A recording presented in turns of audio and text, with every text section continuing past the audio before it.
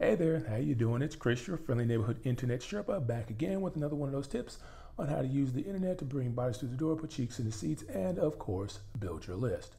Today, I want to have a quick conversation with you about social media. Specifically, I want to talk about how to make a social media strategy.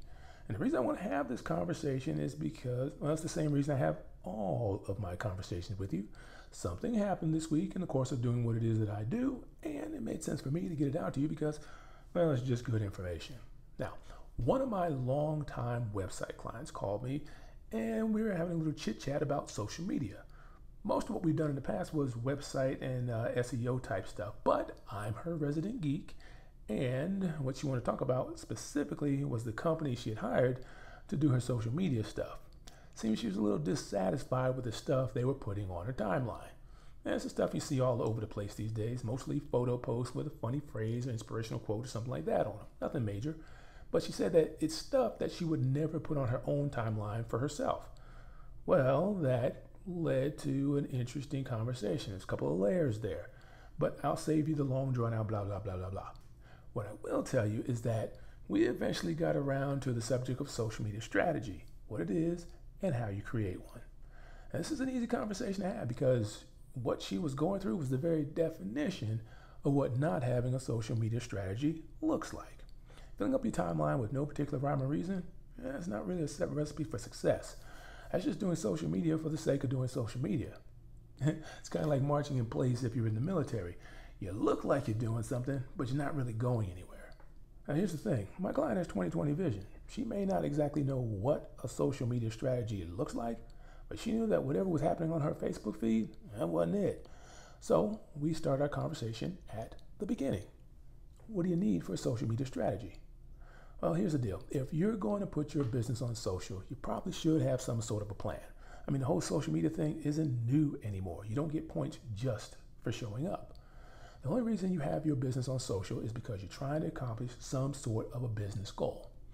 You need people to know that your business exists? Cool. Social media can do that. Got a product or service that needs just a little bit more traction? Yeah, social media can do that as well. You want people to feel some kind of way about your business? You guessed it, social media can do that too. Just about any marketing thing that you need to do, well, social media can help you with it. But just like everything else in your marketing toolbox, it doesn't just happen. You need a goal, you need a plan, and then you got to do the darn thing. You got to execute that plan. So let's run through what goes into your plan. Your social media strategy is the handrail that you're going to be using to craft your social voice. And we've already hit on the first thing you need, and that's, of course, a goal. What is it that you're trying to accomplish out there? Now, if we're doing the five W's, that would be the why. What we need to hit next is who. Who exactly is it that you're trying to talk to? And that gets back to the, the avatar, uh, avatar thing that we talk about from time to time, that fictional representation of your ideal customer. Next, before we start getting busy doing stuff, we need to turn on the scoreboard. You got to be able to measure your efforts. Otherwise, how do you know if what you're doing is working? I mean, if you don't measure what you're doing, you're kind of back doing social media for the sake of doing social media. Well, the nice thing about most social platforms, they got a back office, and you can actually see what's going on. You can see your engagement, see your impressions. You can kind of see how people are reacting to the stuff that you're putting out there.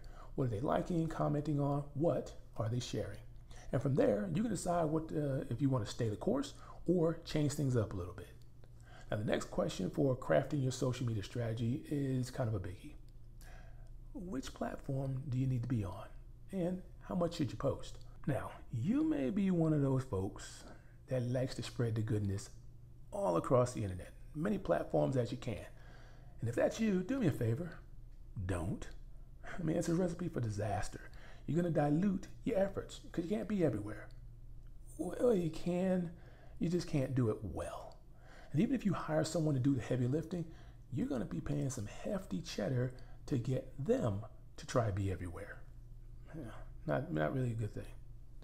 Of course, if you absolutely just have to be omnipresent, I don't want to slow you down. I mean, you do you, boo. Just do me one favor. Turn on the scoreboard, and that way you can see how much bang for the buck or the lack thereof that you're getting. All right, now we all know, oh, wait a minute, let me not assume, we probably all know that there's different strokes for different folks, and there's different platforms for different demographics. Now, I could be wrong, but I'm pretty sure your granny's not hanging out on TikTok. Your niece, maybe, granny, eh, probably not. So, uh, I guess it really depends on where you hang out, where your audience tends to be, who you're trying to talk to. Whatever platform is the most popular with your target audience, probably the one you need to be on. Whew, all right, so I'm talking kind of fast. Hope it's not too bad, but we've covered a lot of ground. Now we need to dig into the weeds just a little. What kind of content are you going to be putting out? And this kind of gets back to what it is you're trying to accomplish. Some pieces of content are better suited for different types of approaches. And now, in my book, everything always comes back to know, like, and trust. People like to do business with people they know, like, and trust. If you want people to spend cheddar with you, they need to know you, like you, but most importantly, they need to trust you. So, are you primarily shooting for the know, the like, or the trust? If you're going for the know, then send them back office stuff. I'm talking about behind the scenes, pull the curtain back, video posts, image posts, whatever. Show them what's going on in the store, what you actually do to get from your Monday to Sunday. Show them how the gumbo is made.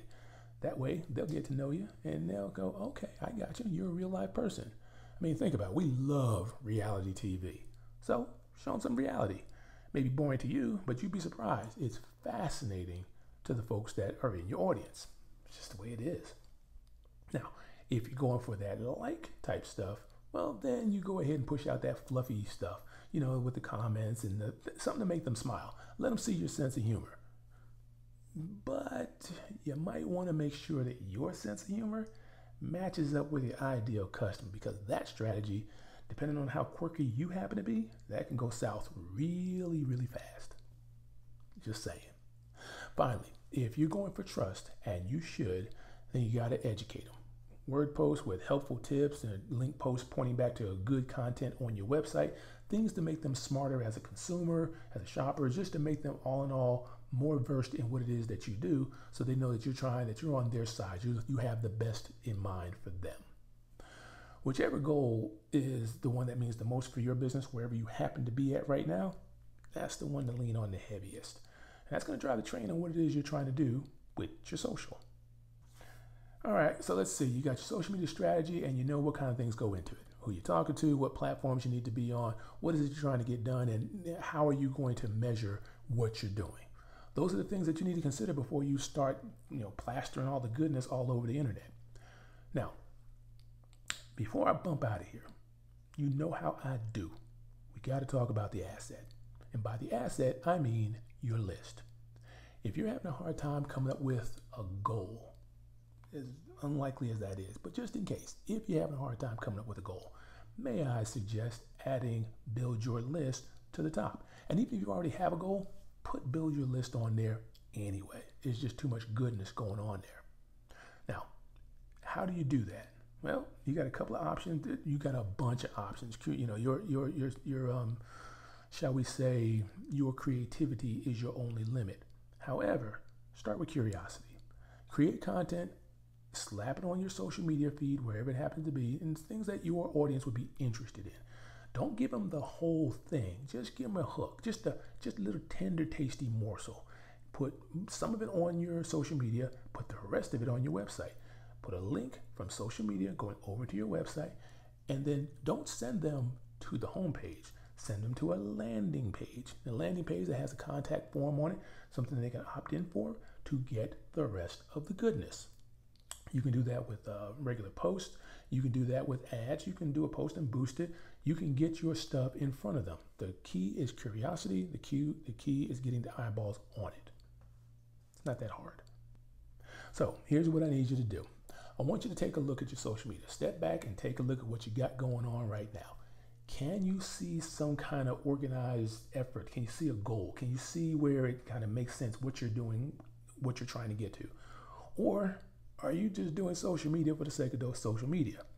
If you're not quite sure how to get that all organized and all that good stuff, you know the deal. It's time to back up, regroup, and come at it again.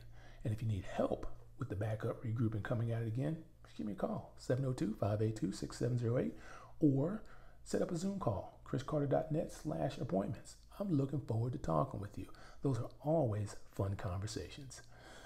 All right, I think that's going to do it. So until next time, thank you for uh, throwing your attention at me for just a little while, and I'll talk to you next time.